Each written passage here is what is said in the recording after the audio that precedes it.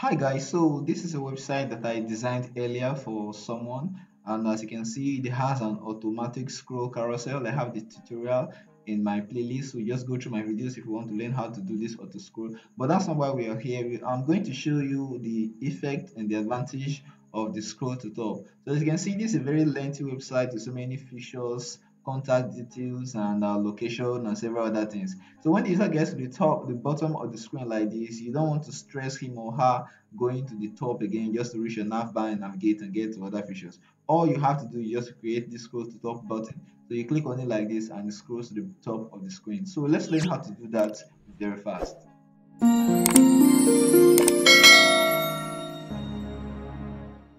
Hi guys and welcome back. So this is a website that I designed earlier. This website I designed earlier for someone. And as you can see the content is much. And um, you want to create the best experience for the user. That's why product design is a combination of UI design and UX design. So when the user comes to the bottom of a lengthy website like this you don't want the person to scroll take so much time and effort to get to the top again. So that's where the scroll to top feature comes in so what we're going to do right now we're going to create the scroll to top icon. It's usually uh, an arrow that points up within a background. So let's create that right now. So let's just go ahead and uh, take the ellipse tool. And then let's draw let's draw a perfect circle. All right.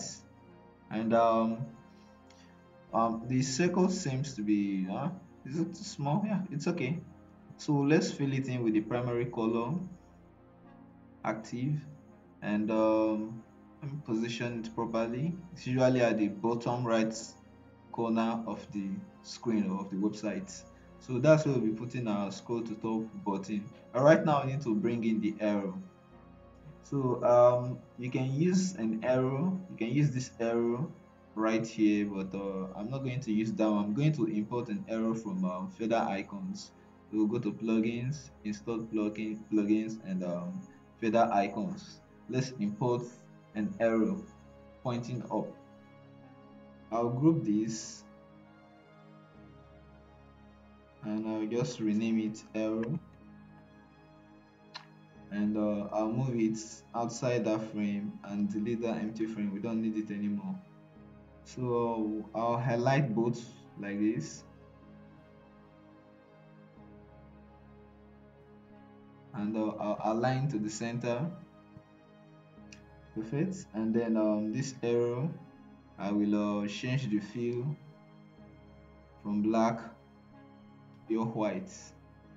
Excellent. And then I will um, I'll group them. And then I'll name it scroll to top. And then I'll put it within the footer the footer section. All right so uh, let me reposition it somewhere like here.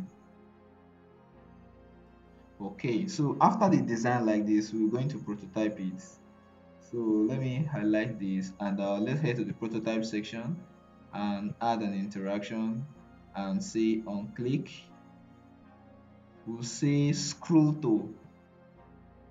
So where are we scrolling to has to scroll to the navigation bar since it's at the top it automatically scroll to the nav bar and we're going to change the animation style to animate.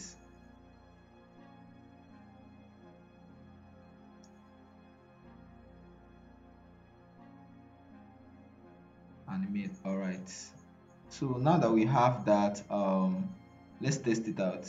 Let's test it out and see what it looks like with and without scroll to top. So let's present okay so this is the website this is a prototype. And um, as you can see I added an auto scroll carousel effect to it. So it it it um, scrolls automatically on its own uh, bringing out different features and uh, but this is not why we are here. So let's go to the very bottom. So let's assume that you're the user you have this website and you're just scrolling through it like this just to check out some of the features before you you made an inquiry you contacted the customer you just want to see what the website is about. So by the time you get it it's very lengthy. By the time you get to the bottom of the website like this and you just think about the stress it take to go back to the top you don't really have to do that and start scrolling. You want to make everything easy for the user. So when the user gets to the bottom like this and he or she wants to get to the top all he or she just have to do is just to click on this. You see this the back scroll to top. So it automatically scrolls to the element that we directed it to. And it saves the user so much time. And you, they would cherish that experience for a very long time and they always want to visit the website. So let's test it out again. Scroll and you see it takes you to the top of the website. So then that's how you design scroll to top button on figma. If you're new to my channel sure you hit the subscribe button. Leave a like leave a comment in the comment section. Thank you so much. It helps my videos and um see you guys next time